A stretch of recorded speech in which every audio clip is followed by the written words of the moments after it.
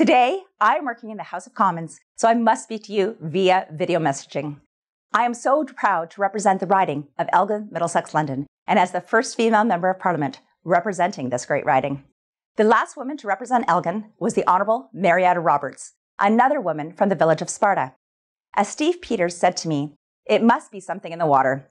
I believe it is more about the opportunities that are available to us as women in the smaller communities in this great county and riding.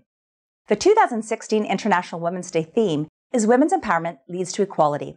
When women and girls are empowered, they can fulfill their potential and contribute their best to our communities and our society. This includes education, involvement in our community, financial independence, understanding the right to live free of violence, and exercising democratic rights. I am a proud member of the Status of Women Committee, studying important issues to women and to all Canadians.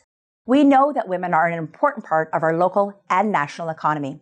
We must continue to move forward with gender equality, and by empowering our women and girls, we will be able to close the gap on pay equity, violence against women, and greater leadership for women in Canada.